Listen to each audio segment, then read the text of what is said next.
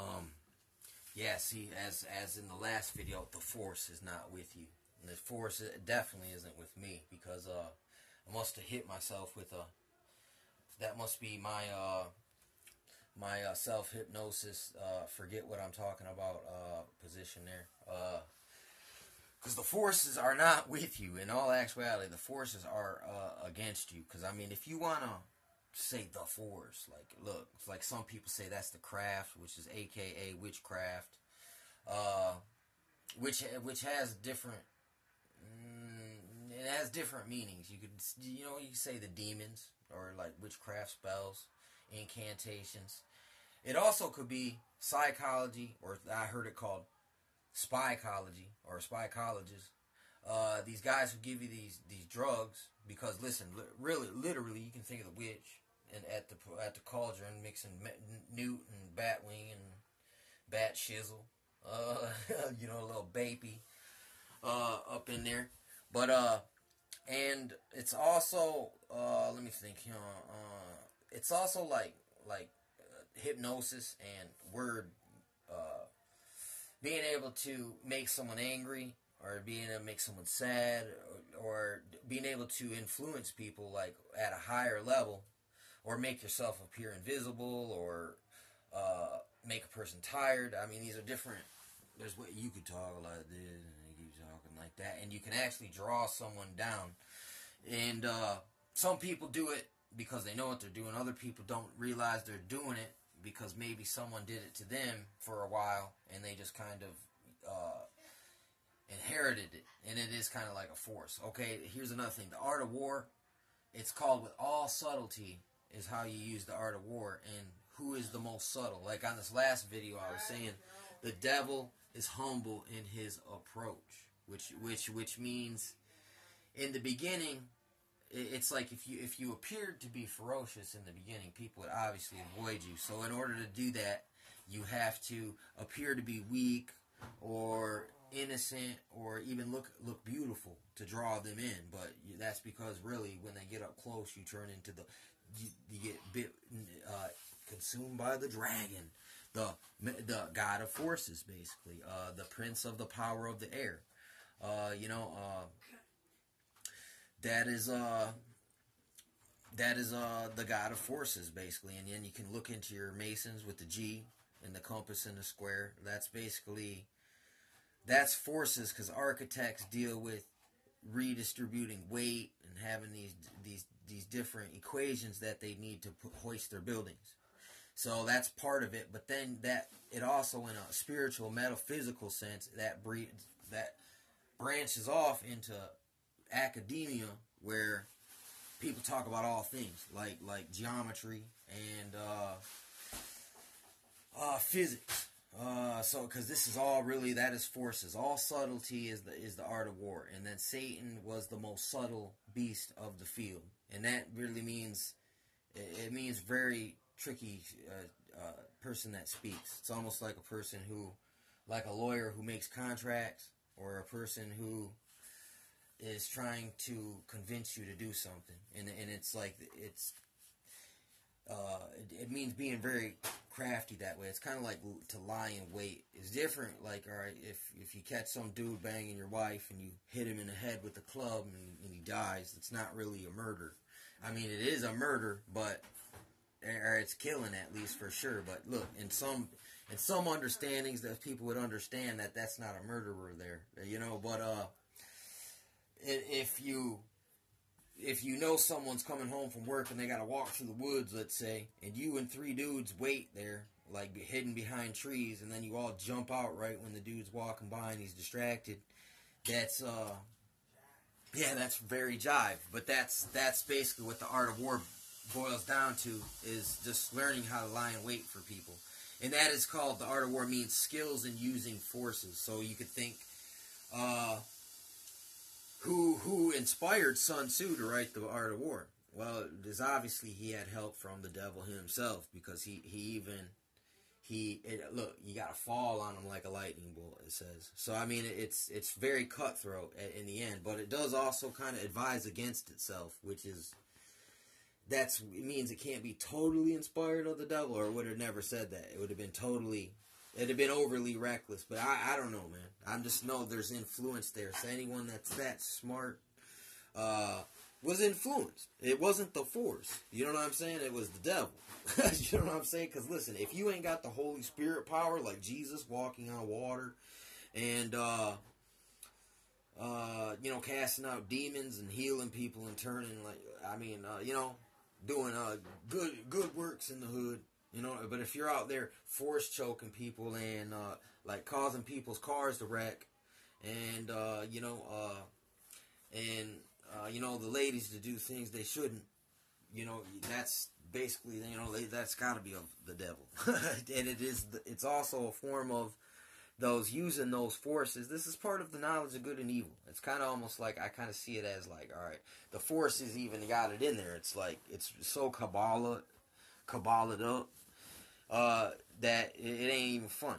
I mean, you can mirror it up, the whole Jedi Force thing. You can mirror it up right there, and it, it it it fits in there with the good and the bad. And they got the the one tree, and then you flip the tree, and uh, they both have a double meaning. Uh, which doesn't everything out here, especially when it comes to dealing with these guys, man, because uh, they like to play the Hegelian dialectic, and it's a form of, of, of, supreme Willie Lynchery, is what I call it. Supreme Willie Lynchery. Like, all the way from the top to the bottom, they got us uh, in this crab in a bucket, uh, this house, Negro, field, Negro, neo feudal, technocratic, uh, 1984 Brave New, uh, revamped and rebooted, and uh, ooted and zooted and polluted. Uh, that's that's what's going on. That's what that's the end result of your of your force. You know what I'm saying? Like I said, some people say it's witchcraft. I, I could also agree that that fits uh, in some big time because the dark side of the force. That's how you could apply it, and then you could say like you know just your your light worker type. But really, you know, you're you're worshiping these these Nordic uh, Draco uh, dog star Sirius beings that uh, you know, uh, blue-eyed blonde. That's the same thing that the, that the Nazis were following. So I mean, either way you go, you go to the dark side, the the hardcore. Like you got your average, what is it? Uh, your pagans who just believe in earth and, and stuff, and in spirits, earth spirits, but it's not necessarily sinister or dark or evil. They call it white magic, but it's still they're worshiping Pan, the the the satyr uh, flute playing thing with horns basically that's the that's the uh, uh, that's crazy. Uh, so it once again spirits uh, and uh, your your hardcore dark uh, witchcrafters who who flip the star and worship the goat and Satan straight out. You know what I'm saying? But all these other people, I mean, look, your pan worshippers, you know, you know, your pagans basically. Uh, or even if they worship the sun, the angel of the bottomless pit is called Apollyon. You know, uh, and the dragon is uh definitely it's it's a, it's it's a sun symbol. It's like the sun dragon. It means to be a lineage of royalty, like basically of the sky beings to Apollo and them, the sky beings that came down. It's it, it's for some reason it's a dragon, a flying serpent, a cockatrice, uh, fiery flying serpent. Yeah, uh, and China's got that in their stuff. And then once again, they had a lot of uh, of uh, they they had tyrants and they had de- democratic uh, points in time. They had they had they had it all going all kinds of different ways. But anytime you got imperialistic people, you're gonna have conspiracies. And you're going to have secret society networks trying to connive and maintain power by any means because it's just uh, it goes Machiavelli uh, at some point. If you dedicate your life to the God of forces, you're going to go Machiavellian, and the ends will justify the means. And uh, bad things will happen to good people, and there will be much suffering. Basically, uh, so no, the force. I hope the force isn't with you, and you got to know this: that the demons, the powers and principalities. I think it's in a the the the jinns, the archons, the cosmocrators, the demons, the fallen angels, the watchers. Uh, these things are out there. and they do influence the game for sure. I mean, uh, and it, there's invisible. They're seeing invisible entities in the sky now. I mean, uh, there's going to be lying signs and false miracles, and you can also look in Exodus when Moses battled with the magicians and, and the Chaldeans, the magicians of Nebuchadnezzar's day. They couldn't. Joseph and Daniel, and uh, no, hey, all the prophets, Jesus, they've they all battled with these type of guys, man. That these uh, trickster guys, or it's even like when Paul says he, he's like, I, I, perceive you men of I think it was Athens. I could be wrong, but he says I perceive you men of, of Athens be superstitious because I stand here at this altar that says to the unknown God. But he's like, but us men here, we can tell you who the, who God is. You know what I'm saying? And it's like, but through the traditions, people will get hung up on this these altars to these unknown gods, the God of forces, aka, uh, or the force, or the universe, or heaven. Because listen, if you worship the creation over the creator, and it says rebellion is that of witchcraft. I mean, listen, but rebellion rebellion to tyrants in obedience to God is good. But if you're just uh, obedient to uh, tyr- tyrants, well, you're part of the of the rebellion in a way, the rebellion against God in a way. And, and listen, and, and you're trying to by force. It's you know, if you're living by the sword, you want to live by the sword. You want to take it. You want to take your future. You want to forge out your your golden haired Aryan fifth age of uh, New Atlantis, Aquarius, uh, or whatnot, whatever you guys believe. Your Lucius Trust, uh, uh, theosophic, uh, uh, double speech, uh, Machiavellian Quackiavelian, uh, Shiznit. You know, I, I mean, I've, I've uh, seen a lot of this stuff, uh, and you know, there there is there is little things. You know, I mean,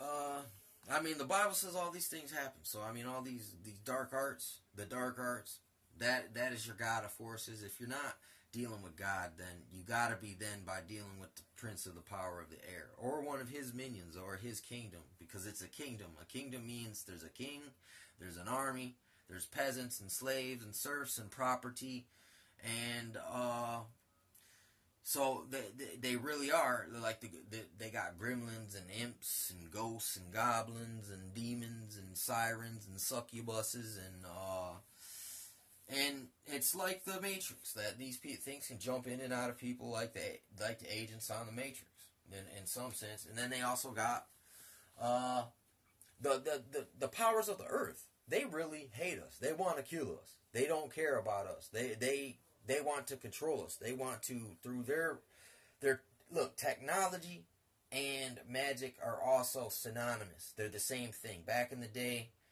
uh, before modern times when it was very esoteric, which means only a few dudes had the money, the knowledge, and the means to even make anything that was uh, technological.